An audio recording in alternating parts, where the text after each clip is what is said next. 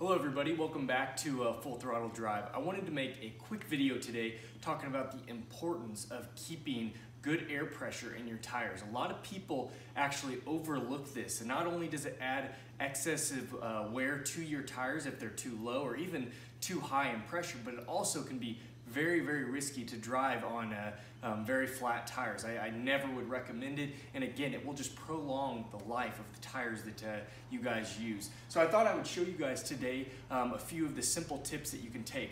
I would actually highly recommend purchasing one of these. It doesn't have to be this exact brand or model, um, but these uh, nice electronic uh, tire pressure monitors, they're not the, the sticks that jump out at you uh, as you press down on the uh, pressure. Uh, they actually give you a digital reading a lot easier to use, and a lot of the nicer ones, don't cheap out on it, but buy a nice one, will actually give you a pretty fairly uh, good reading. So I would highly recommend picking one of these up, throw it in the console or in the uh, glove box of your vehicle, and you should be good. Um, one of the easiest steps you can take though is always checking uh, your tire pressure when you check your oil levels, something, you know, weekly, at least monthly is a good thing to do. A lot of your tire pressure monitor systems will help you uh, make sure that you uh, keep your tire pressure in the right setting at the right pressure.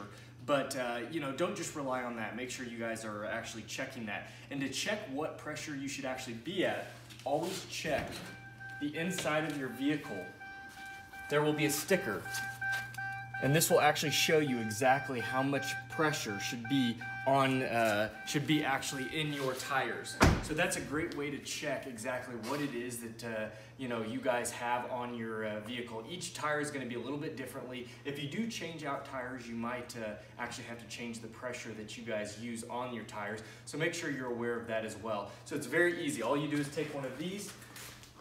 Some of you will have these uh, um, valve stem covers on some may not. It's not a bad, uh, bad deal to have these, but if not, it's not the end of the world. So I just power mine on and I take a reading. Now I'm at 28 PSI, so I'm actually a little bit low. So I'll show you guys here real quick how we can uh, just add a little bit of air to the tires. All right, so if you have a air compressor at home, you can buy one of these ends that goes right into the end um, of your air compressor hose, and eventually you'll just uh, throw this on here and push it in.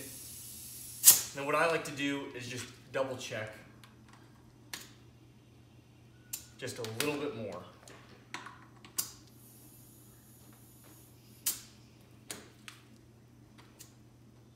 All right, right at 30. So that is really good, um, you know, maintenance to keep on your tires. Again, it will prolong the life um, and it will keep you driving safe. It will keep them at optimal, um, you know, range for making sure they keep you safe. Do not underestimate the importance of good tires because uh, they really are what the vehicle obviously rides on and what keep you safe.